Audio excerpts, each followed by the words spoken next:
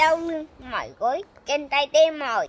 Bạn bị đi tiểu nhiều lần, sinh lý yếu, đó là dấu hiệu của chứng thận hư thận yếu. Kỷ lực đơn Cố tình dùng cho các trường hợp thận hư thận yếu, tiểu nhiều lần, sinh lý yếu.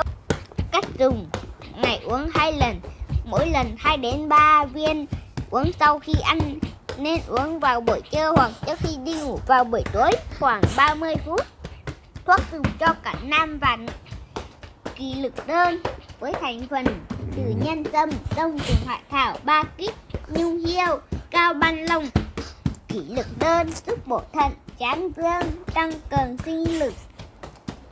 Có tình thì dùng cho cả nữ cả nam giúp giảm thận hư thận yếu đọc kênh rất sử dụng trước khi dùng sản phẩm này không phải là thuốc